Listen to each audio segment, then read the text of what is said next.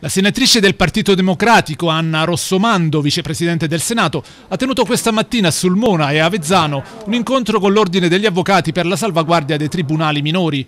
È stata l'occasione per parlare delle proposte in campo e raccogliere le istanze del territorio che chiede a gran voce la salvaguardia dei presidi giudiziari fondamentali per la provincia dell'Aquila. C'è, come sapete, un emendamento sottoscritto da, tutte, da tutti i partiti presenti al Senato per l'ottenimento di questa proroga che eh, riteniamo sia la misura necessaria e indispensabile per eh, poter trovare una soluzione eh, a un provvedimento che ormai data dieci anni e che quindi va sicuramente rivalutato nell'esperienza di questi ultimi dieci anni e soprattutto nella situazione di, di questo territorio insomma, che ha delle esigenze legate alla morfologia, legate comunque a quello che è successo in questi ultimi anni anche legate alla situazione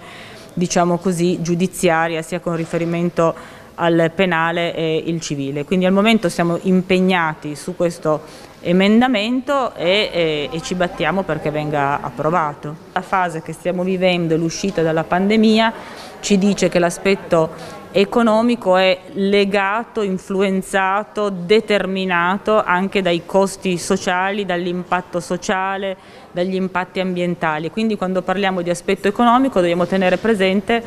una serie eh, di, eh, di, fattori. Oggi abbiamo degli elementi in più rispetto a dieci anni fa e quindi sicuramente devono essere tutti valutati soprattutto con riferimento a un'eventuale immediatezza di, eh, di messa diciamo, in esecuzione di una, una norma che è data, come dicevo, eh, diversi anni fa. Una battaglia trasversale che vede in campo tutte le forze politiche, le istituzioni e gli operatori della giustizia con i relativi ordini forensi in prima linea. L'obiettivo non è solo quello di ottenere un'ulteriore proroga, ma scongiurare definitivamente la chiusura. Il sostegno di Anna Rossomando, che è la vicepresidente del Senato, eh, in questi giorni ci è molto prezioso perché l'azione che i parlamentari hanno fatto tutti insieme eh, sia sostenuta a livello nazionale, non sia solo una rivendicazione regionale